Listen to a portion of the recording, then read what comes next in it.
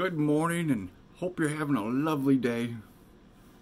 I'm Terry, and if you haven't already, subscribe to the channel. Come join my Facebook group where we discuss movies and stuff like that. And if you're up to it, follow me on Instagram. I'll try to remember to put everything down in the description below. So make sure you read that. Got a new hat recently. They live. Pretty nice. I like it. But let's get on with the show because I got quite a few things to show you. Picked up from eBay, Bombshells. Actually a pretty solid movie. I enjoyed it more than I thought I would. Yeah, definitely worth checking out. This one was fantastic. We got the last blockbuster documentary. They have quite a bit of Kevin Smith in here, along with these guys. But yeah, this was very good, and nostalgia sets in and makes you want to go to Blockbuster. But definitely recommend that one. This one took forever to ship, but finally got it. Glad to get it. Of course, I'm going to support the 4K over the Blu-ray, so I was willing to wait, and it definitely was worth it, although the sound wasn't great. I had to turn it like way up to, you know, have a nice volume to it, but picture was fantastic. That's Bill and Ted Face the Music on 4K. Sorry there's not more glare, but yeah. The US doesn't want to give us a 4K, so just import. I enjoyed this one as well, and I picked it up from eBay, and that's Victor Frankenstein. Not too many people talk about this one, so that could be good and bad. Picked up The Last Witch Hunter on 4K.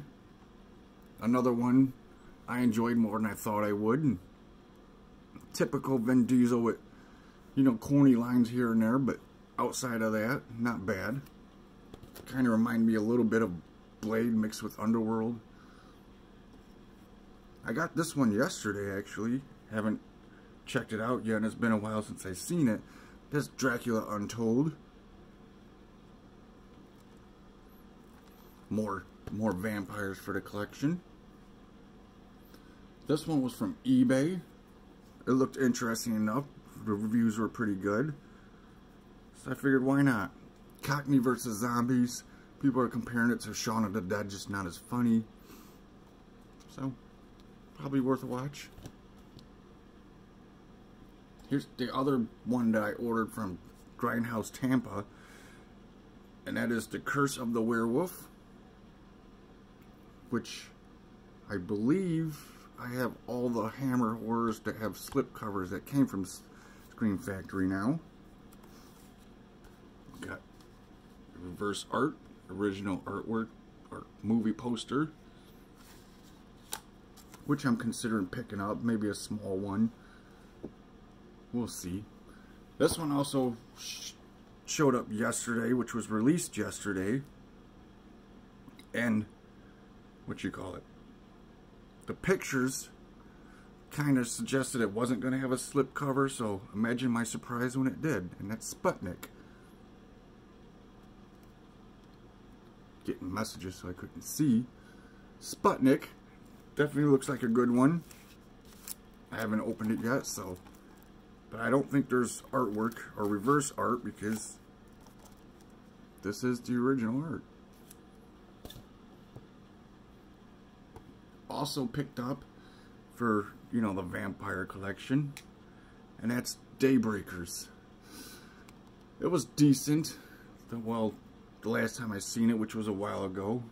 I didn't find it great, but definitely looking forward to revisiting it and seeing if I still think it's decent or whatever the case may be. Alright. This one, first time to Blu-ray, and I don't think I showed you guys. We got Small Soldiers. If you love action figures and animated features, this would probably be right up your alley. Yeah. Last but not least, well, at least for now, I'm expecting a couple more things in the mail, but I don't think it'll get here in time to show you what I've picked up before today. But got the complete series of the Addams Family. Unfortunately, it's DVD only. But happy to have this set in the collection. Nice, nice for October season with this and the Munsters. And I already have the movies, so let's complete that series. Alright, you have a wonderful week and weekend. Stay safe out there and oh, oh rewind and enjoy the show.